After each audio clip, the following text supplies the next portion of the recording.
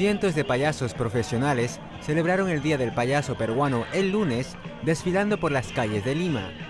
Vestidos con trajes coloridos, pelucas y pintura de cara, cientos de payasos entretuvieron a las multitudes que los veían desfilar haciendo muecas y emitiendo carcajadas.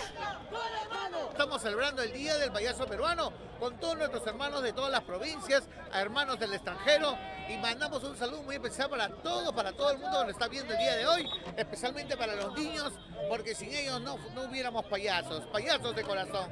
La Asociación Cultural de Payasos y Artistas de Circo de Perú eligió el 25 de mayo para su desfile en honor a José Álvarez Vélez, más conocido como Tony Perejil, un payaso peruano que murió en 1987. Los payasos de ese país han estado celebrando el Día del Payaso cada año desde 2006. Luis Velarde, Associated Press.